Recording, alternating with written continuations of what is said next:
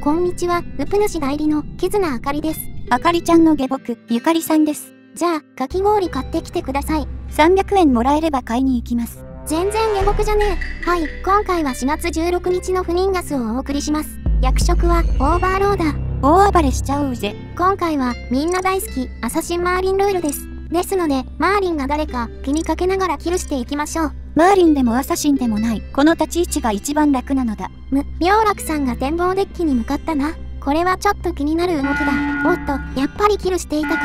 危ない。通報されなくてよかった。クルーの視界だと、あの死体は見えないですかね。とすると、ジョカーキさんはマーリンではなさそうだな。うわ、こっちにも死体あるじゃん。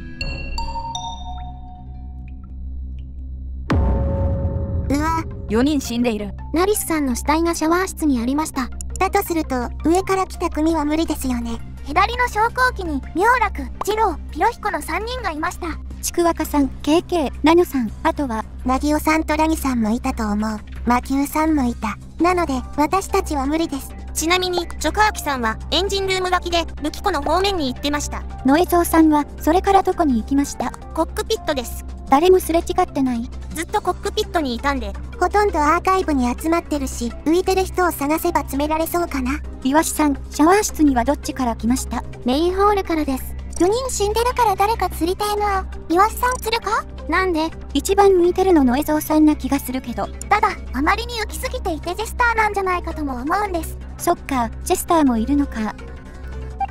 魔球さんに釣られそうになったわ。ただ、あの通報って、マーリンだったら絶対セルフ通報が頭によぎると思うんですよね。浮いてる人が非常に少ないので、セルフは考えるでしょうね。ですので、私を釣りたいと考えた魔球さんは、マーリンの可能性あるかなと。まあ、魔球さんならマーリンじゃなくても言いそうなことだけれど、それはそう。あれ、妙楽さんが死んだ？インポスター仲間が。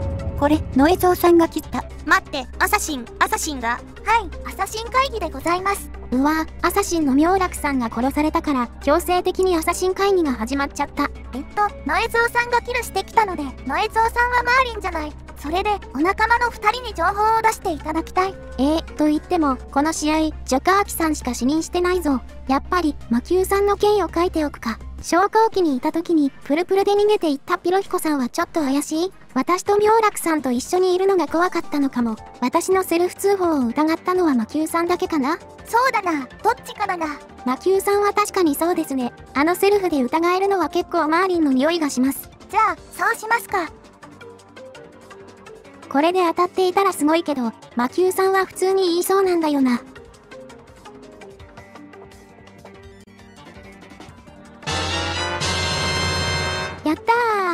すごい。これ名探偵いわちですね。なんでわかったの？あそこで私のセルフ通報を疑ってきたのは魔球さんだけだから、逆にそれ以外の情報がないってことで決まりました。どうしようもないじゃん。死体が4つ出た時絶望したよ。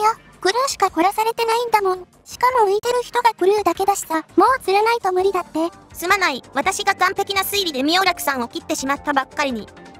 ということで、見事にマーリンを当てることができました。朝まりのいい思い出ができてよかったね。じゃあ次はマーリンになろうか。嫌ですけど、それではそんなところで、今回はここまでです。もしよかったら、いいねをお願いします。ではでは、See you!